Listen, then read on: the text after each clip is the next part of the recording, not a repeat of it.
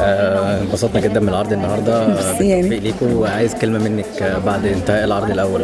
آه والله أنا مبسوطة جدا. أنا بحب كل العروض وأنا من الفرقة من زمان. فالعمل أنا عجباه جدا يعني أنا معجبة بيه جدا. فأنت إيه رأيك؟ إنت انت اللي اتفرجت. تمام. شايفة الرسالة اللي بتقدمها إيه؟ المسرحية للجمهور. كل مسرحيات الأستاذ بتقدم حاجة. يعني لو أنت تشوفه من زمان هو كل مسرحياته فيها قضية.